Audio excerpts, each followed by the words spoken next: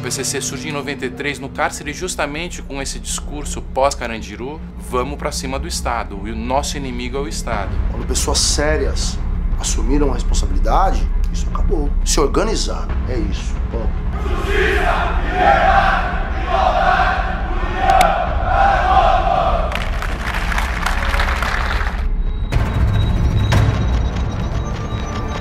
Então, o senhor também é conhecido como Marcola? Sou. É integrante do PCC, não? Não. Mas acontece que depois, a partir de 2011, 2010, 2011, o Comando Vermelho também passou a querer se expandir para outros estados. Para que um grupo que está lá no Nordeste, né, no Rio Grande do Norte, algum outro estado, por que, que interessa para ele se conectar com o Comando Vermelho? Nós estamos assim, é, na beira de um abismo, eu acho.